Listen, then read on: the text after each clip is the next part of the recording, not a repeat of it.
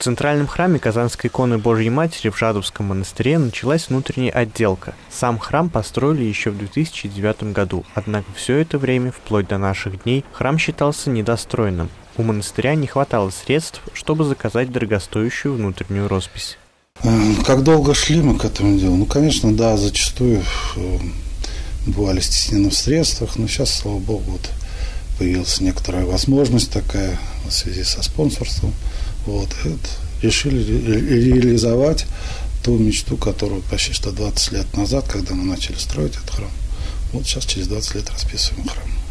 Проект росписи храма был изготовлен еще 14 лет назад. Притворять его в жизнь монахи Жадовского монастыря пригласили мастеров из города иконописцев Палях Ивановской области. Первый этап – роспись алтарной центральной частей храма – это тысячи квадратных метров. Причем многие работы проводятся на высоте до 20 метров. Для этого поставили специальные леса. Каждый заказ ответственный, э, неважно он простой или там э, нагруженный. У нас говорят, чем проще, тем сложнее бывает это делать. Вот. Пишем мы как бы э, в нашем палецком стиле. Ну, единственное, может, особенность, что, так скажем, палецкий стиль предусматривает э, такую некоторую витиеватость, а у нас она такая спокойная.